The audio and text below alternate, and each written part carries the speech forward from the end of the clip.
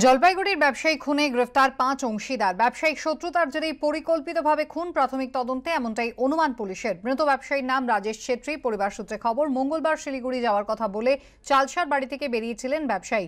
তারপর থেকে তিনি নিখোঁজ ছিলেন। শনিবার নাগরাকাটার পাঞ্জোরা এলাকায় জাতীয় সড়ক থেকে ব্যবসায়ীর প্লাস্টিকে মোড়া দেহ উদ্ধার হয়। তদন্তে নেমে খুনের অভিযোগে ব্যবসায়ীর পাঁচ অংশীদারকে গ্রেফতার করেছে পুলিশ। ভারী বস্তু দিয়ে আঘাতের পর শ্বাসরোধ করে খুন বলে প্রাথমিক তদন্তে পুলিশের অনুমান। ব্যবসায়িক শত্রুতা ছাড়া অন্য কোনো কারণ রয়েছে কিনা পুলিশ খতিয়ে দেখছে। শনিবার নাগরাকাটায় ব্যবসায়ীর দেহ উদ্ধার, প্রাথমিকভাবে ব্যবসায়িক শত্রুতার জেরে খুন বলে অনুমান পুলিশের। খুনে গ্রেফতার পাঁচ অংশীদারকে গ্রেফতার করল পুলিশ। মৃত ব্যবসায়ীর নাম রাজেশ ছেত্রী, পরিবার সূত্রে খবর, মঙ্গলবার শিলিগুড়ি যাওয়ার কথা বলে চালসার বাড়ি থেকে তিনি বেরিয়েছিলেন, তারপর থেকেই নিখোঁজ। শনিবার নাগরাকাটার পাঞ্জোরা এলাকায় জাতীয় সড়ক থেকে ব্যবসায়ী প্লাস্টিকে মোড়া দেহ উদ্ধার হয়। তদন্তে নেমে খুনের অভিযোগে ব্যবসায়ীর পাঁচ অংশীদারকে গ্রেফতার করেছে পুলিশ। ভারী বস্তু দিয়ে আঘাতের পর শ্বাসরোধ করে খুন বলে প্রাথমিক তদন্তে অনুমান পুলিশের।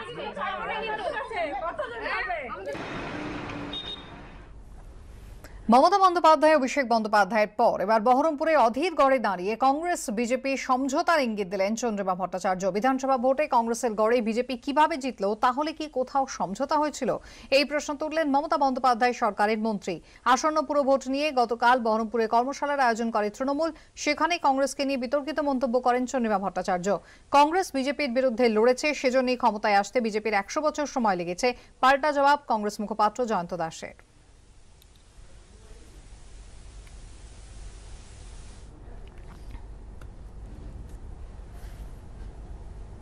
যারা এখানে করে তারা তো কংগ্রেসই, এখানে আবার সিপিএম এর আর কি আছে? কিছু সারা বাংলা জুড়েই নেই, আর কংগ্রেসেরও নেই। তারপরেও যখন যারা বলে, তারা তো নিশ্চিতভাবে ভারতীয় জনতা পার্টিকেই যাদের বলে যে এই জায়গাটা ছিল তার নাকি মূল গড়, সেই গড়ে তাহলে বিজেপি হলো কি করে? তাহলে নিশ্চয়ই কোথাও ছিল বোঝা পড়ে যত কষ্ট আর দুঃখ হচ্ছে মমতা বন্দ্যোপাধ্যায়ের জন্য, আর যত ভালো ওদের জন্য, তাই তা তলায় তলায় ভাব।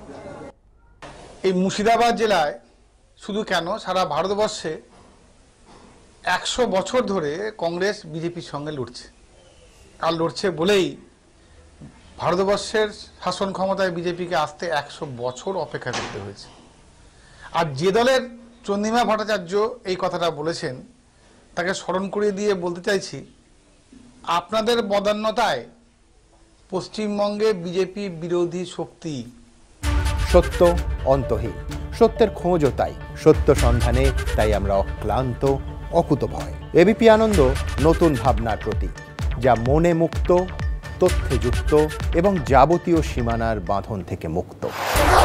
সীমা না, শব্দটির মধ্যে লুকিয়ে আছে মানা শব্দটি, যেন চোখ রাঙানি, এক অদৃশ্য বেড়াজাল যা আটকে রাখে আমাদের এক ছোট্ট গণ্ডির মধ্যে। একমাত্র সঠিক খবরই গড়ে তুলবে এক মুক্ত সমাজ। সেই জগৎ গড়ার লক্ষ্যে কোনো সীমানার ঠুকুটি আমরা মানব না। এবিপি আনন্দ, এগিয়ে থাকে, এগিয়ে রাখে।